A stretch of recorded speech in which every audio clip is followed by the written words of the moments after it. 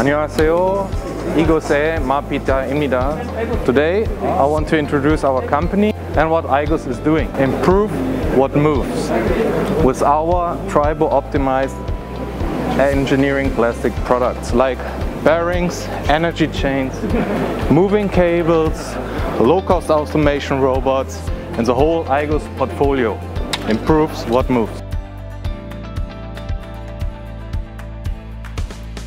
Our clean room related products because this is the Semicon exhibition here in Korea so we brought products which improve the means of our customer regarding clean room or particle emission. So we want to avoid abrasion in the machines of our customers.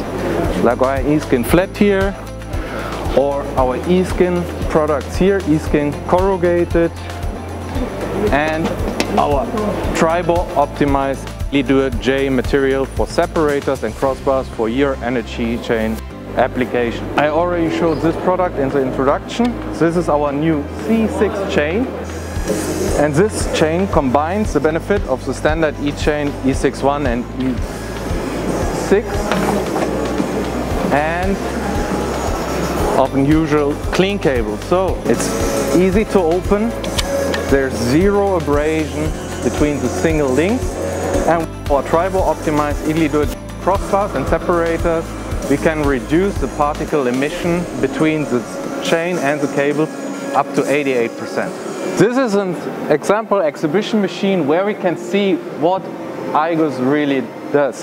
Here we can see all our products in one machine. Our super clean energy chains with our high performance TPE, moving cables, e-skin, corrugated and flat energy chain solutions, openable, easy to maintenance, improve your yield also with our CF clean cable, plus our other business unit, the DryTech business unit. Here we see our brand new SCARA robot super low cost, low cost automation.